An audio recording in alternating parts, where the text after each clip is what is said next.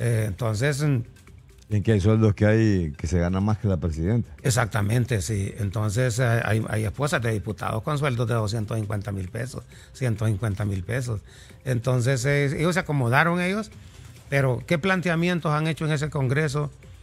Eh, ¿Qué esfuerzos han hecho en ese Congreso para conci- conciliar y presentar proyectos de ley de desarrollo?